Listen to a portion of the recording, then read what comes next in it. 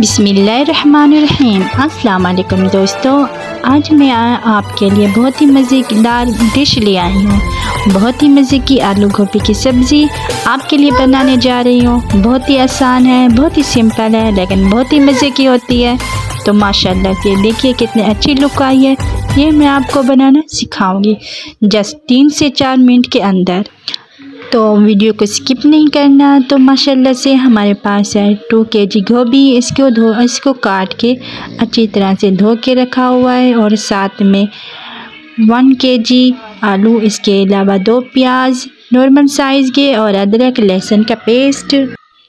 मेरे पास मौजूद था टमाटरों का पेस्ट तो हमने दो बड़े टमाटरों का पेस्ट ले लिया है, हरा धनिया, सब्ज़ मिर्च और और कुछ खुश्क मिसाले, बाद में ऐड करेंगे। रही देखिए में ऑयल डाला है और प्याज भी डाल दिया है इसके अंदर। और प्याज को करेंगे फ्राई और लाइट ब्राउन कलर लेके आएँगे इसको। फ्राई होने में पाँच से छः मिनट लग ही जाते हैं। ये देखिए, माशाल्लाह से अच्छा कलर आ गया है। मीडियम आँच पे पकाया करें, ज़्यादा आँच पे मिसाल जल जाता है। अब इसके अंदर जाएगा एक चम्मच नमक का और एक चम्मच पूरा जाएगा लाल मिर्च और one four four teaspoon जाएगा हल्दी पाउडर। ये हमारे मिसाले कंप्लीट हो चुके हैं। अब मिसाले को पाँच से छः मिनट तक भूनेंगे।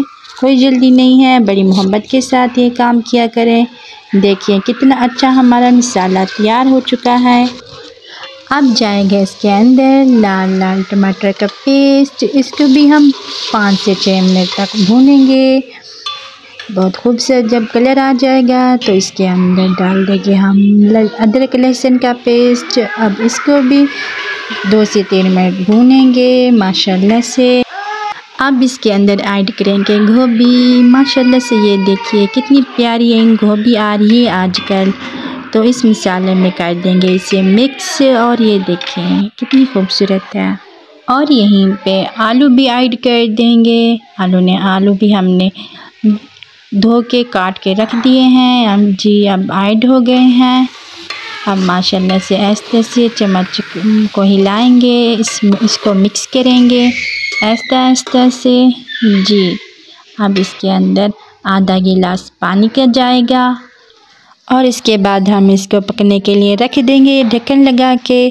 इसको पकाने पकने के लिए बारह से तेरह मिनट इतनी देर में ये गल जाती है।